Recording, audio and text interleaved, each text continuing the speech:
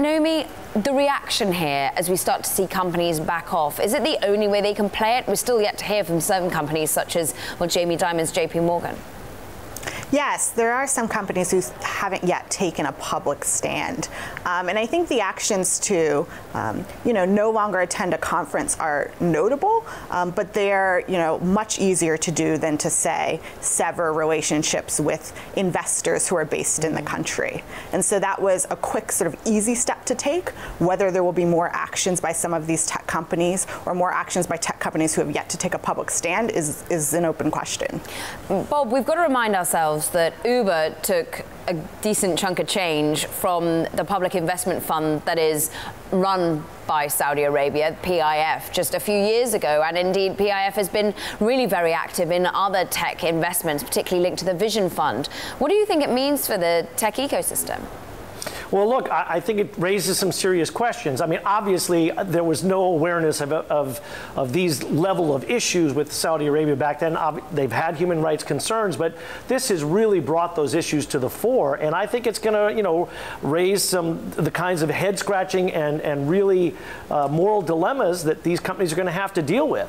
Um, and look, we're in an environment right now where the tech industry is so poorly looked upon by so many parts, not even you know of the world and, and within the U.S., you know, I think it's a critical moment for them to make some bigger steps. You know, I agree. This was e like you know, we're not going to go to your conference now. Okay, fine. That that's great, and that's an important step, but it's more of a symbolic step. The question is, can they move beyond the symbolism and make really substantive changes? And that's going to be a much harder question to answer, and of course, it's going to take much longer to determine because the impact could be uh, extremely large longer term.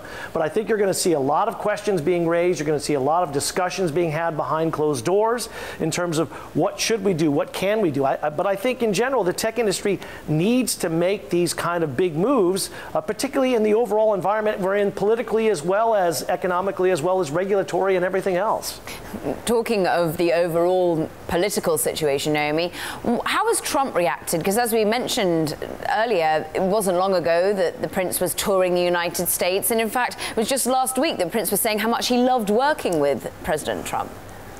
Yeah, the Trump administration has been reluctant to take some of the stronger actions that some lawmakers on the Hill have asked for, whether that be sanctions or blocking arms sales to Saudi Arabia.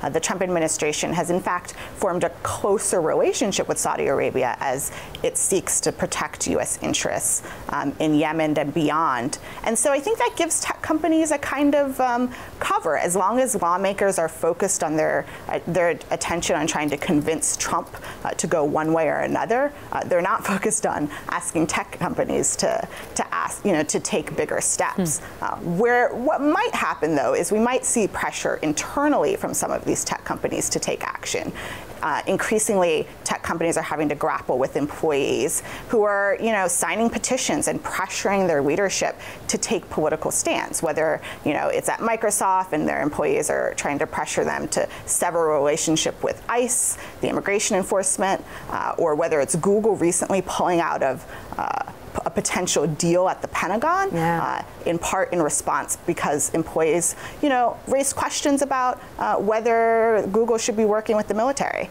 And so I think, you know, whether those companies um, follow that kind of, take those kinds of actions after those kinds of questions are being raised, um, you know, is really something to be looking forward to. Yeah, Bob, it's interesting that, of course, one of the key companies that's desperately trying to reinflate its brand and perception from the rest of the world as to how it treats its employees and indeed its staff and those outside the business is Uber. And it's notable that Dara Khosrowshahi, the CEO of Uber, has come out saying, you know, the reasoning behind why he's not going to be attending the business, the, the event, saying he's very troubled by the reports to date from about Jamal Khashoggi. We are following the situation closely, and unless a substantially different set of facts emerges, I won't be attending the FII conference in Riyadh.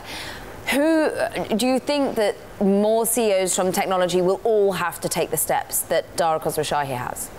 You know, I, I, think they are. You know, and, and if you look at what Richard Branson said, he took it even further, right? He said this raises serious questions about future investments. You know, we're talking billions of dollars that, you know, Virgin was going to be deploying in Saudi Arabia. And he raised the question of, you know, all Western companies are going to have to think about how they interact with. That was a particularly strong statement. Now, we'll see if other companies are as courageous as that.